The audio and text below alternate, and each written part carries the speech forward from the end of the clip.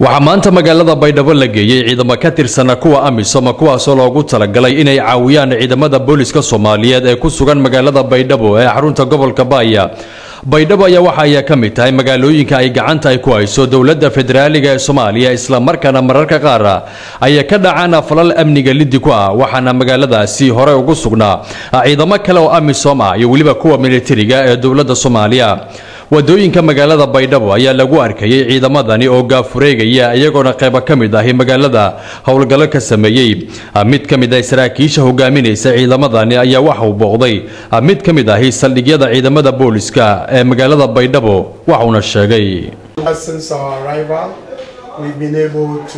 ujeedka yaga halkani waxa weeyaan inaan caawino booliska soomaaliya ee ku sugan magaalada baydhabo iyadoona mararka qaar magaaladu laga dareemayo arrimo aan wanaagsanayn oo ammaanka ku tacalluqa.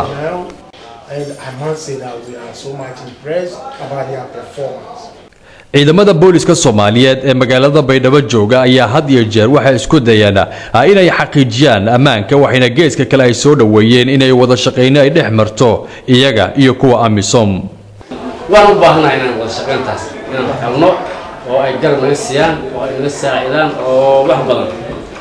Weliba booliiska jooga baydhabo aad tiradiis waa yar tahay. Dadaal un baa intaas ku gaari weyn dastaas tiru badan maaha. Marka inay garabna siiyaan oo ya wax nala qabtaan magaalada baydhabo janaay ayaa ka mid ah magaalooyinka soomaaliya oo soo maray dagaaladii sokeeye ee dalka iyo dadka aafeeyey kaasoo magaalada dib uga dhigay horumarkii iyo wax soo saarkii lagu yaqiinay. Salmaan jamaal siciid tv-ga caalamiga universal magaalada muqdisho